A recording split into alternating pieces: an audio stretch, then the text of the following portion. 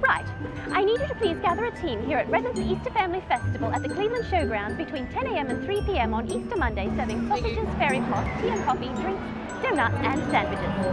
And all volunteers will need to register at www.redlandschurches.org. And am I forgetting something? Of course, Happy Easter!